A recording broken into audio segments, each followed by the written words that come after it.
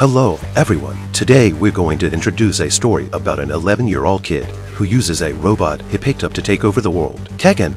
The story takes place in the future world. At this time, robot boxing has become very popular. Perhaps humans have been tired of human boxing. Perhaps robot boxing looks more violent and exciting. So in the world streets, there are robots boxing everywhere.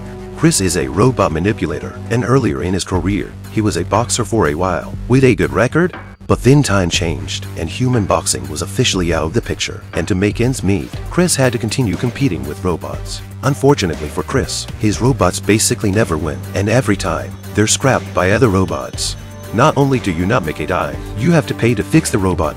On this day, two police officers reached out to Chris and told him that his one-time girlfriend had tragically passed away, leaving him with only a son. Chris is the first custodian, but Anna, the ex-girlfriend's sister, is keen to raise the child. Chris, on the other hand, gets greedy and sells custody of his son to Anna for $100. 000, just so he can make a killing to pay off his debts. But recently, Anna had to go to Europe, so she had to leave her son with Chris for a while. Chris gets the money when it's done, he had no choice but to agree. However, as soon as father and son met, they argued, and the son realized that his father had sold him out, and Chris had no desire to raise him and simply left him with his current girlfriend, Bella. Bella's father was Chris' coach, and the two loved each other dearly, but never married because Chris was too much of a womanizer. This day Chris again with his new robot competition. The son was bored and followed, but the arrogant Chris for the high prize money choose to challenge the most powerful robot. The result is predictable. Another miserable failure.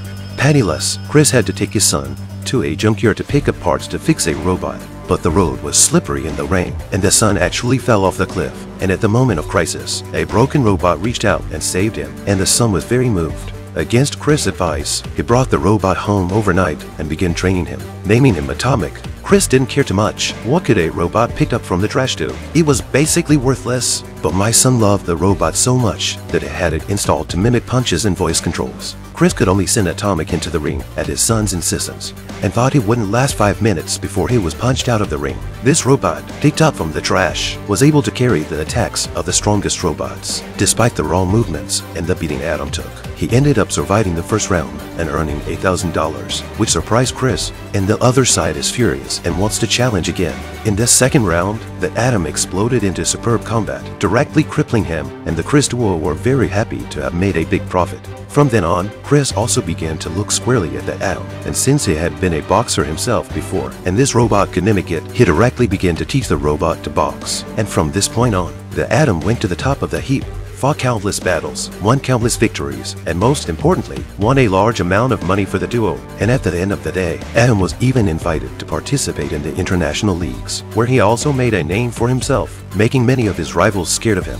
At this time, the world's most powerful robot named Zeus, Zeus Manipulator also once wanted to buy Chris, but in the end, they were all rejected by the son. The son also launched a challenge to Zeus. The whole world thought he was crazy because Zeus is too powerful. The Atom simply has no possibility of winning. And just then, Anna returns from Europe to take her son away and it's clear that father and son have developed a deep bond in the meantime. But since Chris doesn't have custody, he's forced to watch his son being taken away. On the eve of the finals, Chris begged Anna to take her son for one night to come to the competition, and Anna was so moved that she had to oblige. The fight hasn't even started yet, and a lot of people are betting that Atomic won't make it through the first round. But my son is still confident who will emerge victorious, the robot found in the trash or the world's strongest robot? The atom gets up again and again and eventually survives the first round. And a lot of people lose their money. And on the ensuing counterattack, Atomic all played pretty well, stumping his opponents, because no robot has ever been able to punch Zeus, but the Atom did and there was a back and forth battle between the two sides that was quite intense. But soon Zeus is up to his machinations and smashes the Atom voice recognition system, and Chris has to take matters into his own hands, punching the Atom off stage and making the Atom mimic his own movements. As it turned out, it was so effective that Zeus couldn't even fight back, and even barely got up a couple times.